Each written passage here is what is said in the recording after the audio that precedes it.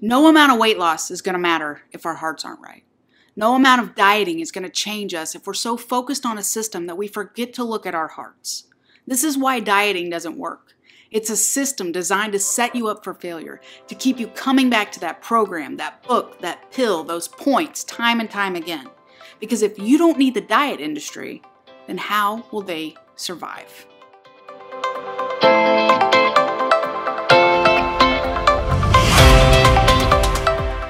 Hey, friend, welcome to the Diet Haters Podcast. I'm your host, Sundi Jo, loser of 145 pounds, who's passionate about helping you learn how to stop dieting, find lasting weight loss results, and learn your true identity in Christ. We're going to get real and raw and down to the nitty gritty in today's episode. In case you missed it, today's episode is titled Relationship, Religion, and Weight Loss Redemption. So, what in the world does religion have to do with weight loss? My answer to that is everything. So stick with me through the end and we will learn why together, okay? And I actually I just I had to throw that word redemption in there because the teacher in me like needed 3 R's, you know. I've got issues. I know I'm not in denial. But we're going to dive into some scripture together where Jesus was talking to the Pharisees and he was calling out their hardened hearts and how that compares to our own hearts as we pursue a deeper relationship with Jesus and pursue freedom in our health journey. So I've had people say to me, and they've totally meant it in a, in a complimentary manner, you're such a religious person. But I am usually pretty quick to remind them that I am not a fan of religion, but I sure do love Jesus. And sometimes that makes their head turn to the side and, and be like, okay, tell me more. And sometimes they look at me like I'm absolutely crazy and they walk away. Jesus wasn't a fan of religion either, right? But I say that to say that there really is a big difference in religion and relationship. Religion is, is full of rules. It's systematic. It strives for perfection. It's got a, a long list of do's and don'ts. Relationship, on the other hand, it's personal. And it can also be messy. You know, our relationship with those that we love can be messy. Our relationship with a job we love can, can get messy. Our, our relationship with food can get messy. Today, we're going to learn the difference and we're going to take more next right steps towards freedom in our health journey. Before we dive in, though, I have just a quick favor to ask. If you are enjoying this podcast, would you mind going and sharing it with your friends and leaving a review? The more you share, the more opportunities for freedom, the more opportunities for health for others. And the more reviews we get, of course, preferably five star, the easier it is for us for others uh, to find this podcast. And so, thank you in advance for listening. Thank you in advance for leaving a review. Thank you in advance for sharing. I really do appreciate it. All right, so now that I've said all that, let's dive into today's episode on relationship, religion, and weight loss redemption. So let's dig straight into the scriptures as we talk about this today. I'm actually going to be reading from uh, the New Living Translation. It says in Matthew 15 8, These people honor me with their lips, but their hearts are far from me. Now, it's important to note that Jesus here was speaking to the religious leaders. He was speaking to the Pharisees, speaking to the scribes, and they were trying to catch Jesus in a trap, accusing his disciples of ignoring the tradition of ceremonial hand washing before they ate. But Jesus, because he's awesome, was quick to turn it back around and say, and I'm summarizing here, say, your traditions, they violate God's own commandments, you know, the ones that you claim to follow. You know, you don't even honor your parents like God told you to. You're hypocrites. And then he goes on to preach scripture back to them out of Isaiah, saying, He prophesied things about you. And so he takes, he speaks that Isaiah, it's from Isaiah 29 13, he speaks it back to him. And he says, And so the Lord says, These people say they are mine. They honor me with their lips, but their hearts are far from me. And their worship for me, worship of me, is nothing but man made rules learned by rote.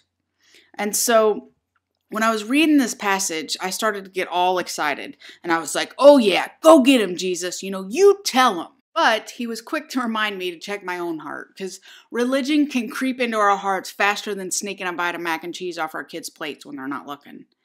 And religion brings rules, it brings rigidity, it, it's systems that we get so locked into that we refuse to change them.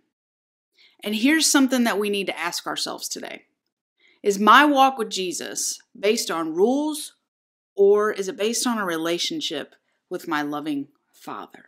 How we answer that question changes everything.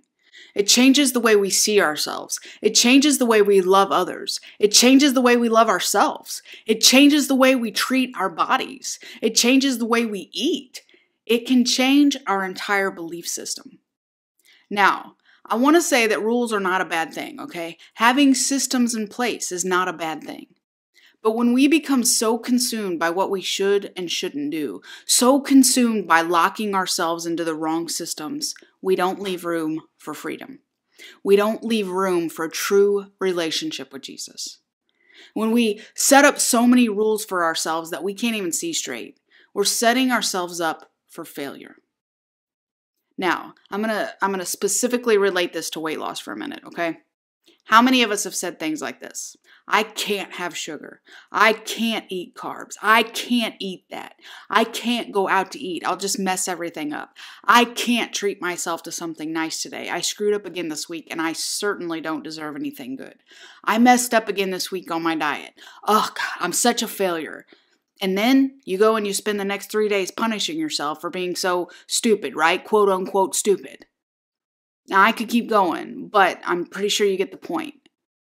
But what is tied to all of those statements?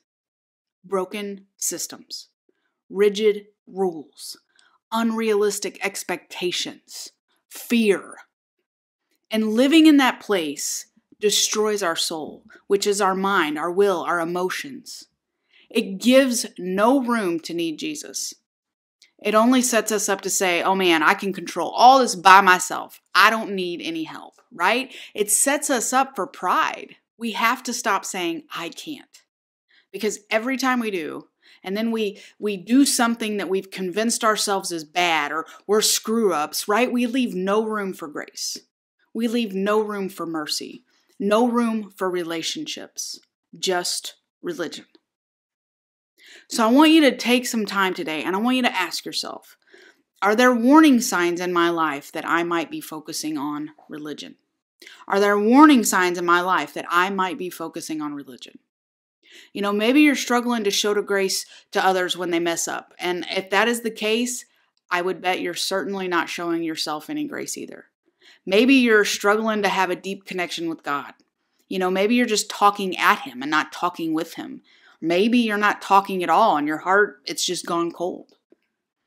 If our relationship with the God who created us is cold, well, guess what? many of the choices that we make are going to come out of that reality. And if we're making choices about a relationship, I'm sorry, if we're making choices without a relationship with God, we're going to go back to what? Rigid rules, right? Do's and don'ts, a broken system. Here's the thing about God He wants you to pursue Him, not a list of right and wrongs, not a, not a list of mistakes and victories. He wants a deep personal relationship with you, with me, with us. And guess what comes with being in relationship? We literally have Holy Spirit leading us and helping us with our decisions. We have Holy Spirit saying to us, hey, you know, that might not be the best idea for your body today. How about we choose something else?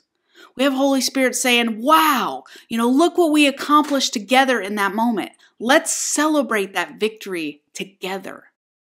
Now, right and wrongs, they're not bad, right? Paying attention to mistakes and counting victories, they're not bad. But we have to do them with the right heart. We have to do them with a heart that is free and in relationship with Jesus, not a heart that is broken and scared and bitter and religious. Insert your own word there. Hey, friend, just want to interrupt this episode real quick to remind you of something. That you are valuable. That you are worth fighting for, that you don't have to allow your past to control you any longer, and to remind you that you don't have to keep walking in the never ending cycle of dieting. Sometimes all it takes to get back on track in our health journeys is literally going back to the basics, back to simple next right steps that lead us to the best version of ourselves, the version God designed us to be. If I can lose 145 pounds, you can lose weight too, my friend. Doesn't matter if it's 10, 20, 50, 100, or more. If I can do it, you can do it. I've created a free guide just for you called Four Simple Steps to Weight Loss to help you on your weight loss journey.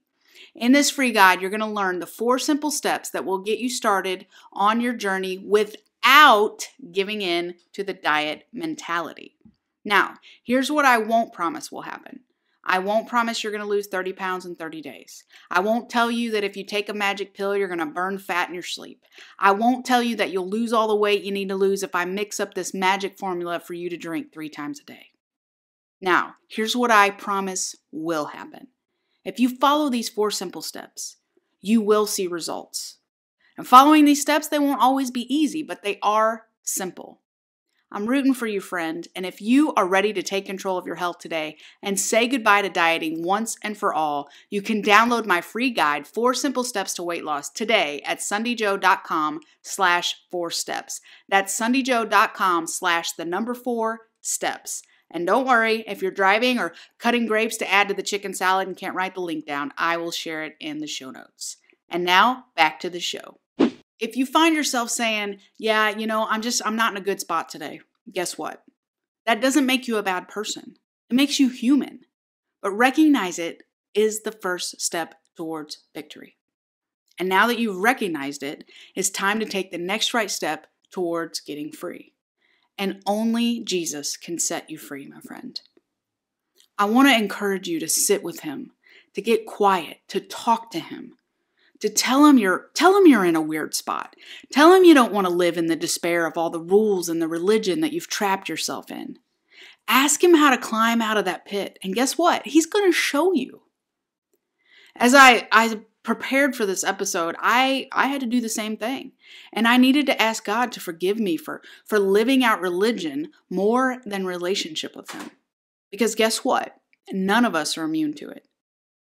And here's the thing about religion. It brings shame. It says, you know, you didn't follow this checklist. You're not perfect. Guess what? God's not pleased with you. You're a failure. But it isn't really religion saying that, is it? No, it's the enemy. Satan himself whispering lies into our minds that eventually settle in our hearts. But here's what I want you to know about religion religion isn't just a word, religion isn't just a feeling.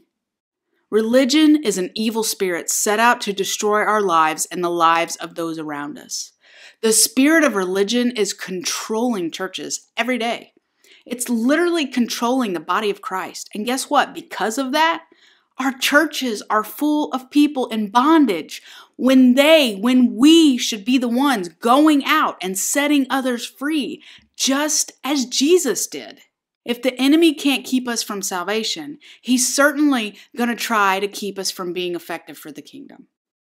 And when we're so overcome by all the things that we have to get right, we don't focus on relationship.